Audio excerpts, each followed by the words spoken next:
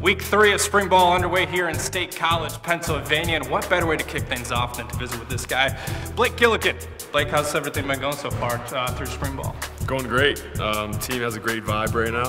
Um, a lot of leadership really stepping up the first two weeks. Excited for the next three. All right, we're going to do a little walk and talk. So, what's the biggest thing that you've been working on in the off season, carrying this into the spring? Yeah, just uh, being more consistent um, with my whole routine, um, how I kick, how I hold, um, how I punt.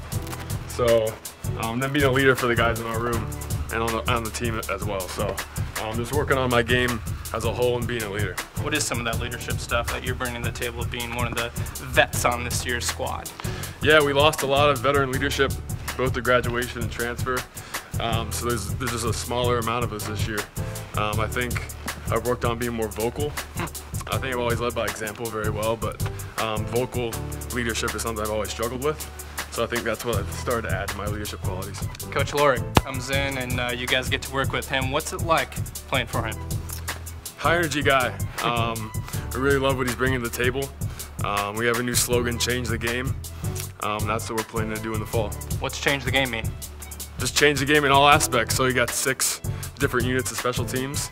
Um, it's just to, to be the best and, and help the offense defense out as best we can. What do you want to accomplish this season in the fall when you guys ramp things back up? Obviously, it's quite some time before that happens, but what do you want to accomplish? Yeah, I want to do everything in my power to help this team be successful.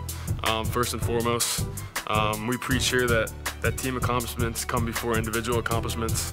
Um, and those individual accomplishments come when the team is successful. So um, just hoping to help the team win as best I can and uh, be a leader for this team. All right, last thing for you. Give me one person that you've been impressed by so far. I'd probably say Cam Brown. Cam Brown. Cam Brown has really stepped up as a leader of this team, leader of the defense. Um, I think he's, he's preparing to have a really big senior season. Hey, appreciate your time. Good luck this spring. Yeah, we'll talk more it. as the season gets ramped up.